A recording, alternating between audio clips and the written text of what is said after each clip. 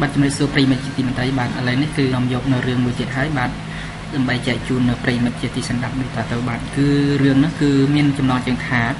និស័យកម្មព្រះភូមិបាទអញ្ចឹងរឿងនេះគឺជារឿងភាគរបស់ថៃបាទអញ្ចឹងដើម្បីដឹងថារឿងនោះគឺមានដំណើរនងបែបណានោះគឺសូមបងប្អូនចូលទៅតាមដានសន្តាប់ជាមួយនឹង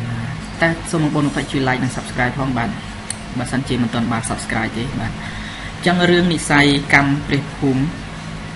ភាពយន្តនេះគឺបង្ហាញពីភាពសាវារបស់បរិសម្នាក់ដែលធ្វើឲ្យនារីឈឺចិត្តរហូតដល់ស្លាប់បាទទោះបីជាបែបណាវិញ្ញាណរបស់នាងនៅតែមិនទៅ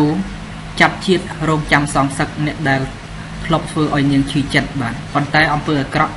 នៅតែមិនអាចយកឈ្នះអំពើល្អបានដដែលបាទអញ្ចឹងនេះគឺជាអ្វីដែលដែលជាប្រធានបទនៃការនៃរឿងនិស័យកម្មព្រះភូមិបាទ ចឹងវាតកតងទៅនឹងអំពើដែលយើងបានសាងបាទអញ្ចឹងដើម្បីដឹងថារឿងនោះមានឈុតឆាកបែបណាសូមបងប្អូនចូលទៅមើលនៅឈុតខ្លីជាមួយយើងចូលមើលនៅលោកបងស្រឡាញ់តាវីលោកបងគ្មានថ្ងៃបានសម្រេចគ្មានថ្ងៃឡើយ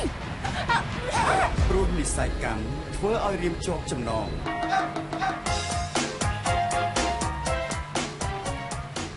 ខ្ញុំសាទគប់ជាមួយពួកអ្នកទាំងអស់នេះមុនពេលខ្ញុំរៀបការជាមួយស៊ីនុនទៅទៀតជាតិជាប្រុសវាមិនដែលផ្លាស់ប្ដូររងចាំនួនល្អងក្នុងខ្ទមព្រះគុណលេងលេងលេងលេង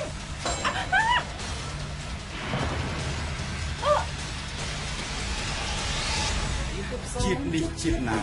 សងជួបតែប្រកែកជីវ៉ាជានិច្ចនិរន្តរ៍បងស្លាញ់អូន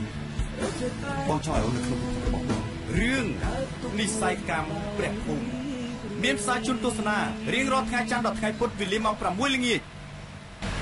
បាទគឺរឿងគឺច័ន្ទដល់ថ្ងៃពុធបាទអញ្ចឹងនិស័យកម្មព្រះភូមិហ្នឹងគឺជារឿងសង្ខេបខ្លីជូនតាប្រិមិត្តតាត្រឹមហ្នឹងគឺសូមប្រិមិត្តកុំភ្លេចជួយ like និង subscribe ក៏ដូចជាការ share ទៅកាន់មិត្តភ័ក្តិដើម្បីជាការស្ដាប់កំសាន្តលេងនៅពេលទំនេរផងដែរបាទសូមអរគុណច្រើនសូមជម្រាបលា